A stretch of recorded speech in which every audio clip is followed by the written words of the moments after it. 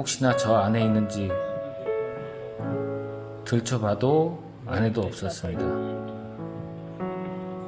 음, 왠지 어, 행복한 이별인 것 같습니다. 부모를 따라갔으니까요.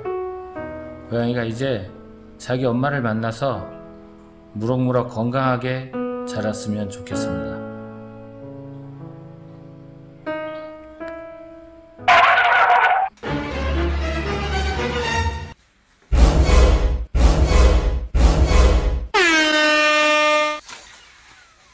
그렇게 아쉬운 마음이 가시기도 전에 보시는 것처럼 너무 황당한 일이 일어났습니다. 어미를 따라가는 줄 알았는데 그 처음 발견되고 나서 이틀 후에 다시 창고에서 야옹 소리가 나더니 저렇게 올라와서 자기 모습을 보여줬습니다.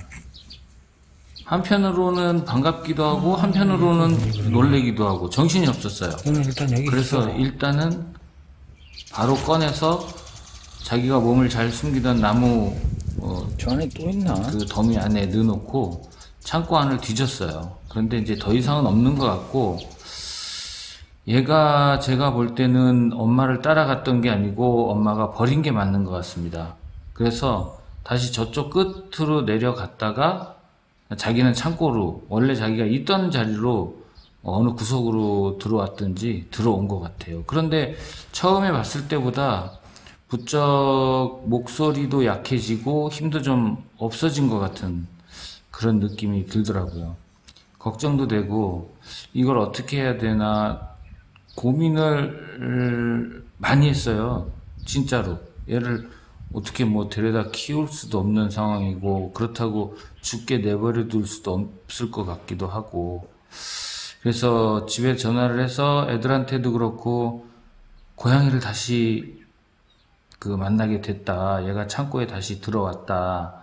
그러니까 이제 서로 다시 걱정을 하고 이게 어떻게 하는 게 좋겠느냐 뭐 얘기를 하는 도중에 똑같이 또 그 눈곱은 그대로 또 끼어 있고 그리고 이게 붙잡아 보면 못 먹은 것 같아요. 그냥 살이 없어. 그래서 이제 우선은 눈부터 좀 닦아준 다음에 어, 밖에 두면은 분명히 이제 그 큰 고양이들이 케어를 하지 못할 것 같더라고요. 그래서 우선은 얘를 집 안에 넣어 놓고 그 다음에 어떻게 생각을 해 봐야 되겠다. 그렇게 생각을 했죠. 이제 고양이들이 그 핥아주던 고양이들은 공격을 하지는 않겠지만 그 경계심을 보이던 고양이나 다른 고양이들은 해칠 것 같더라고요. 그래서 우선은 어 목욕탕 화장실 안에 넣어놨어요. 당장에 분유는 없고 먹지는 않고 분유를 먹어야 될 것 같은 그 연령이라고 주변 사람들이 얘기를 해서 먼저 설탕물을 조금 타줬어요. 그래서 설탕물을 타서 줘도 안 먹고 물도 안 먹고 계속 따라다니기만 하려고 하고. 그래서 제가 아, 안 되겠다 싶어서 이제 숟가락으로 떠먹이려고 좀 숟가락을 가져다가 조금 입을 벌려서 한, 한 서너 숟가락 정도 먹인 것 같아요. 왜냐면 제가 당장 얘를 어떻게 할 건지 결정을 할 수는 없고, 애는 그전처럼 이렇게 야옹야옹 소리가 커지지도 않았고, 오히려 줄어들고 그래서 잘못하면 죽을 것 같더라고요. 그래서 억지로라도 제가 설탕물을 몇 방울 먹였습니다.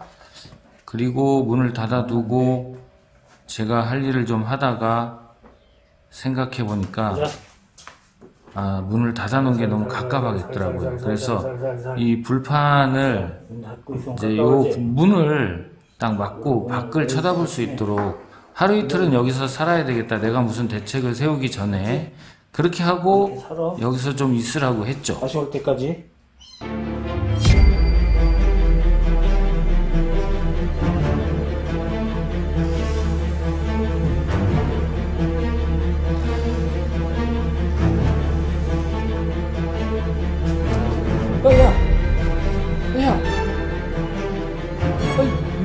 为什么走